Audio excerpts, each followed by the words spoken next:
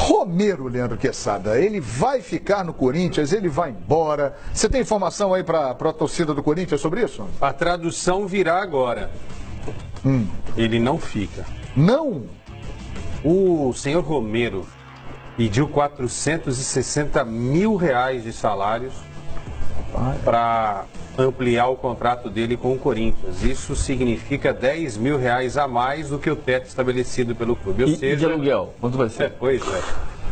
Você quer saber de aluguel? Eu tenho os dados aqui. Você tá brincando? Ah, 2 milhões e 200 mil reais de luvas e a multa rescisória em 3 milhões de dólares. Mas auxílio moradia não precisa. Auxílio não. Então, tá bom.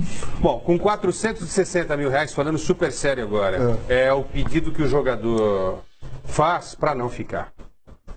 E com todo respeito ao Romero, artilheiro da Arena Corinthians, em Itaquera, um jogador que taticamente foi importante em algumas das conquistas do Timão, tal. um cara que quando vestiu a camisa do Corinthians, é, vestiu com muito afinco, tal, embora tecnicamente não seja um jogador é, fantástico, mas ele, ele, ele vestiu a camisa do Corinthians com, com muito respeito. Né? A fiel torcida encara dessa forma.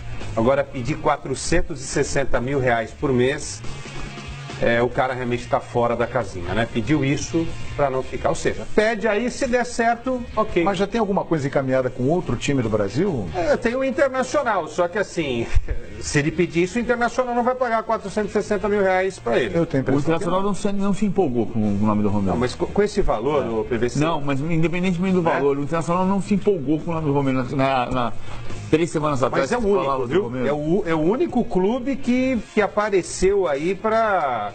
Não vamos confundir com o outro Romero, que é o irmão dele, que está na mira do Atlético. E que né? pode vir para o Atlético. Estamos falando do Romero do Corinthians. Angel. Outro o Oscar. O Oscar, que joga mais do Que que o fez Angel. uma pedida nada angelical, né? De Mas 460 na Itália foi péssimo, hein? Foi péssimo. hein? Jogou nada o Mas é, um... é, é por aí. Há uma pequena diferença de estrangeiros no É, Savoy. mas, exatamente. E aí, o Romero. O Romero fará muita falta ao Corinthians? Eu acho que sim, João. É? Eu acho que sim. Eu acho que o Romero foi um jogador nesse período, é claro. Caiu de produção no segundo semestre de 2018, é verdade. Não foi o mesmo.